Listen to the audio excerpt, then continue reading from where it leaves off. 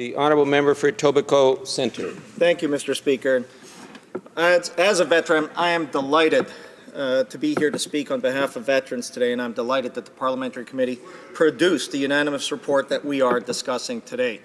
The report, the new Veterans Charter Moving Forward, charts a common path forward for veterans programming in Canada.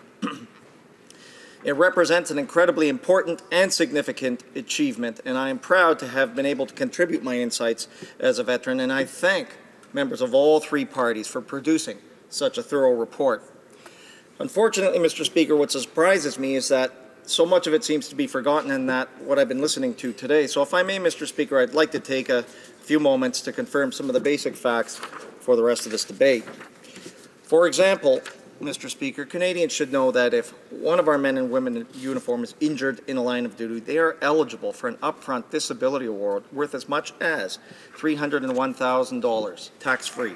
Mr. Speaker, tax-free. As well, these same individuals may receive ongoing disability benefits and other supports that can climb to as much as $10,000 per month.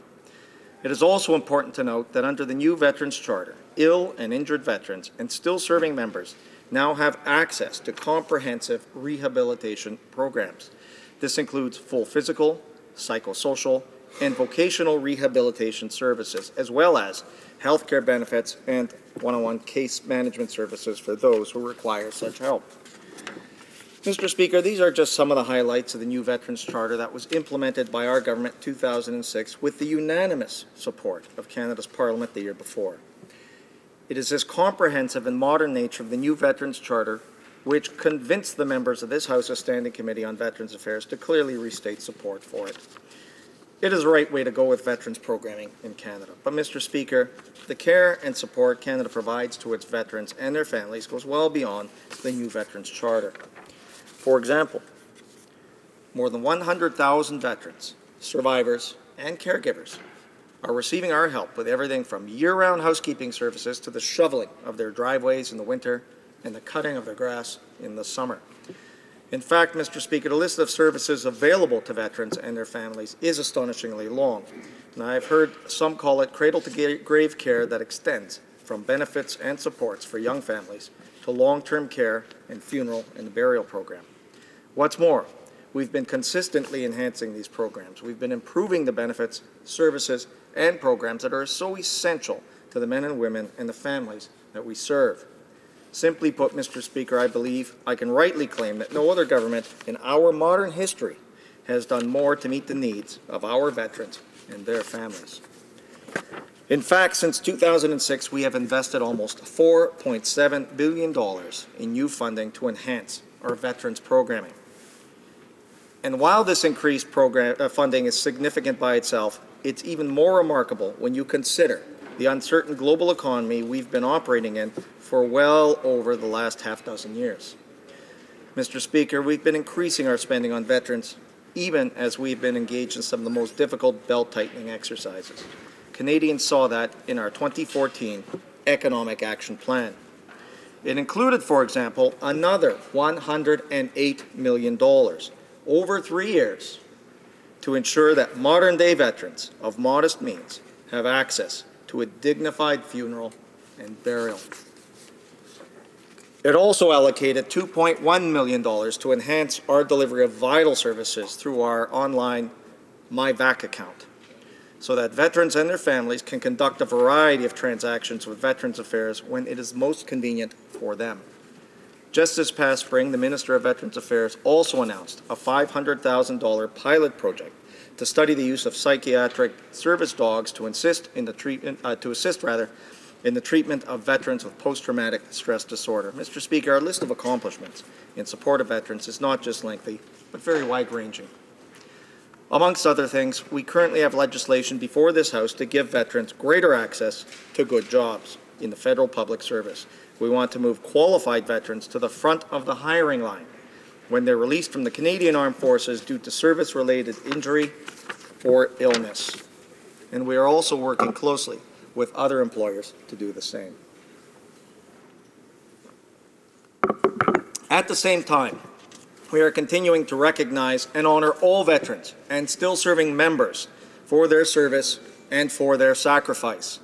That's why we held a National Day of Honor on May the 9th, so that all Canadians could express their pride and their gratitude for more than 40,000 men and women who served during the 12-year Afghan mission, and to pay tribute to the 158 brave Canadians who made the ultimate sacrifice for our shared values of freedom, democracy, human rights, the rule of law, and balanced justice.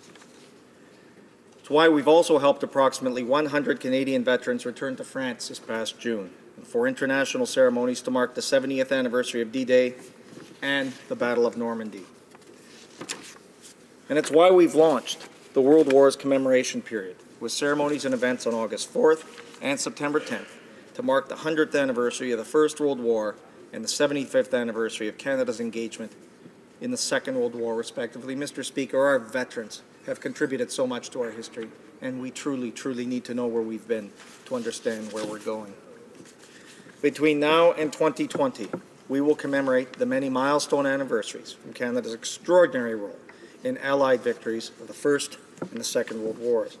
This includes a new national tribute we've unveiled for living veterans of the Second World War. Eligible veterans will receive a commemorative lapel pin and personalized certificate of recognition, signed by the Prime Minister. In short, Mr. Speaker, we are striking an appropriate balance between commemoration and ensuring that the veterans and their families receive the full support that they deserve. As the Minister of Veterans Affairs has said, there is no better way to recognize and to honor our veterans' service and sacrifice and to ensure that they are receiving the benefits and the supports that they have earned. However, Mr. Speaker, our government also readily recognizes that even the best programming needs to evolve if it is to keep pace with the constantly changing needs of those that it was designed to serve. This is a message the committee heard many times, and they listened to the testimony of more than four dozen witnesses from all walks of life, from veterans and their various representatives to academics and individual Canadians, Mr. Speaker. Mr. Speaker, if there is one conclusion that Canadians can take from the report, it should be that our central finding on the effectiveness of the new Veterans Charter. If you will allow me to, Mr. Speaker, I would like to read a paragraph from the report where this is expressed so well, and it states, and I quote, "The committee members unanimously agree that the principles of the new Veterans Charter should be upheld and that these principles foster an approach that is well suited to today's veterans. This does not mean that improvements cannot be made.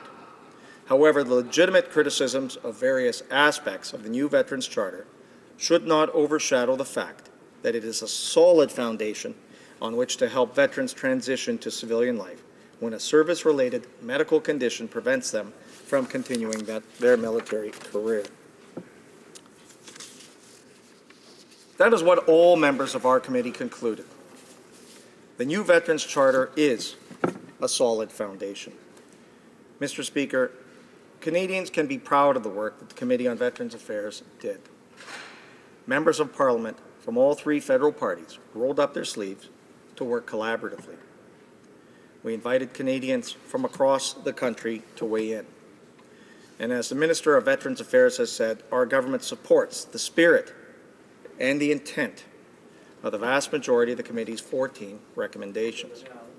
He has promised that our government will leave no stone unturned as we find innovative ways to build upon the substantial new funding we've already invested in our veterans programming since 2006. In the short term, we will immediately adopt a number of measures. This means, for example, that we will be improving family access to psychological counseling services and develop a new training program to better assist the caregivers of our injured and our ill veterans. We are going to help families care for their loved ones with the kind of insight and support they need and that they deserve. We're also going to work with our key partners and our key stakeholders to find the right policies and programs to meet the more complex issues and challenges facing veterans and their families. We value the ongoing input and advice of the Veterans Ombudsman and veterans organizations. And we want to make sure that Canada's brave men and women in uniform, past and present, can always count on the services and the support they need, because our government's formal response to the committee's report delivers that today and beyond. And Mr. Speaker, just, you know, when I was on the Defense Committee and, and we had uh, a study on the care of the ill and injured, a lot of these issues came up at that time too. And, and uh, this is something that, that was, struck me profoundly as a member of that committee, that we have to support our veterans in every possible way we can. Um, times change, wars change, uh, conditions change, and this government is committed to being flexible and ensuring that the needs of our veterans today and tomorrow and beyond are going to be met. Thank you, Mr. Speaker.